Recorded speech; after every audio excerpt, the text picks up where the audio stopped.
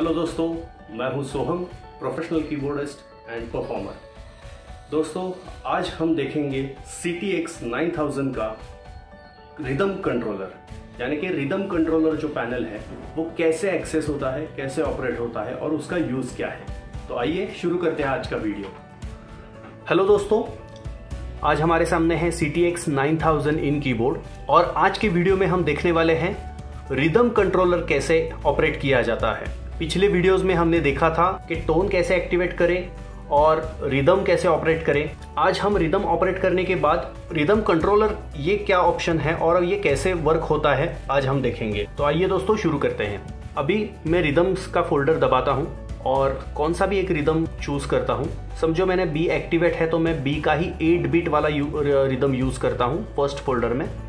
मेरे सामने अभी 8 बीट है ज़ीरो डबल टू और उसका टेंपो है 120 अभी दोस्तों ये है टेंपो का बटन राइट हैंड में दिया हुआ है। यहाँ से हम टेंपो कम कर सकते हैं, यानी कि डाउन एरो और यहाँ से टेंपो बढ़ा सकते हैं, यानी कि अप एरो ये सेम फ़ंक्शन हम न्यूमरिक की से भी ऑपरेट करते हैं। समझो, अभी टेंपो है 118 और मुझे डायरेक्टली 150 करना है तो मैं इतने बार दबाना बटन नहीं चाहूँगा।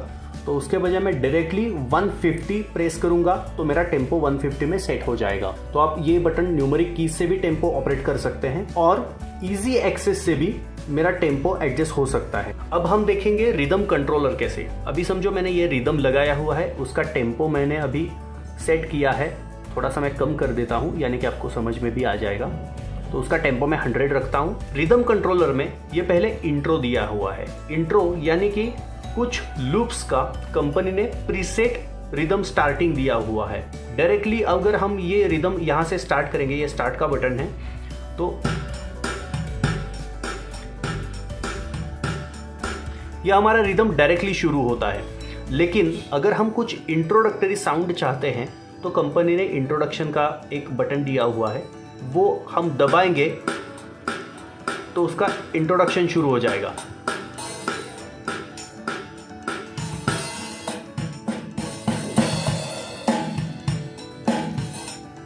यानी कि 16 बिट्स का उन्होंने एक लूप दिया हुआ है। ये लूप से रिदम ऑटोमेटिकली शुरू हो जाता है।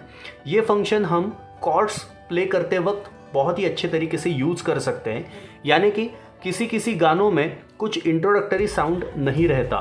डायरेक्टली गाने शुरू हो जाते हैं। तो उसके लिए रिदम प्ले करना डिफ़िकल्ट हो जाता है। इसलिए हम ये इंट्रो का बटन प्रेस करके एक इंट्रोडक्शन यूज़ कर सकते हैं।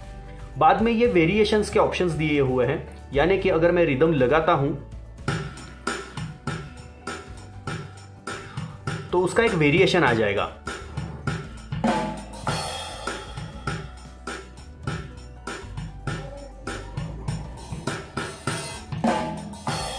ये मुझे वेरिएशन मिलता है। ऐसे ही सेकंड वेरिएशन भी दिया हुआ है।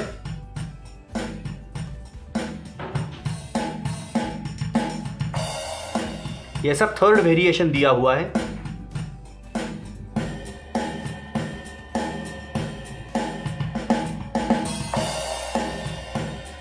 ये फोर्थ वेरिएशन दिया हुआ है।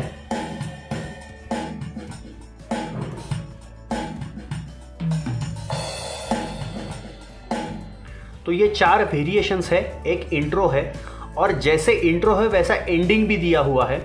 तो अगर समझो ये हमारा रिदम शुरू है, अगर हम एंड का बटन दबाते हैं तो जैसे ऑटोमेटिकली रिदम शुरू हुआ था, वैसे ऑटोमेटिकली वो स्टॉप भी हो जाएगा। तो आइए प्रेस करके देखते हैं क्या होता है।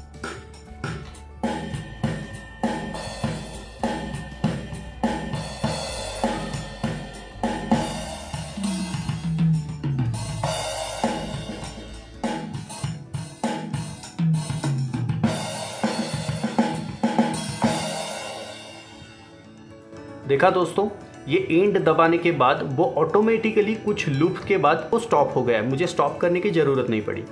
तो ये हम यूज़ कर सकते हैं।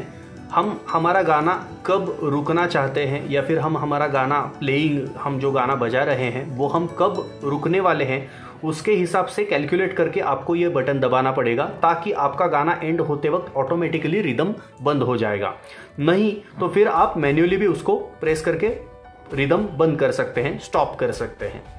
तो ये बेसिक इंट्रोडक्शन है बेसिक फीचर है।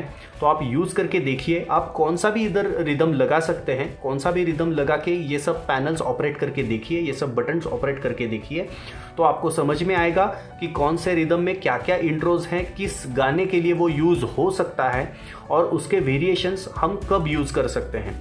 दोस्तों, मैं आपको बताना चाहूँगा कि वेरिएशंस का मोस्टली यूज़ कुछ लाइंस चेंजिंग के लिए होता है। दोस्तों, समझो मैं एक गाना बजा रहा हूँ और उसके लाइंस में कुछ चेंजेस हैं तो वो चेंज दिखाने के लिए ये वेरिएशन यूज़ होता है। यानी कि सामने वाले को, सुनने वाले को ये समझ में आ जाएगा कि यहाँ पे लाइंस चेंज हो चुकी है गाने की। तो वैसे दोस्तों, आप ये उसका यूज़ कर सकते हैं। जैसे हम तबला में तोड़ होती है, वैसे ही वेरिएशंस उसको बोला जाता है। वो वेरिएशंस यहाँ पे दिए हुए हैं। तो दोस्तों, ये आप ऑपरेट करके देखिए। और मुझे ज़रूर फीडबैक दीजिए।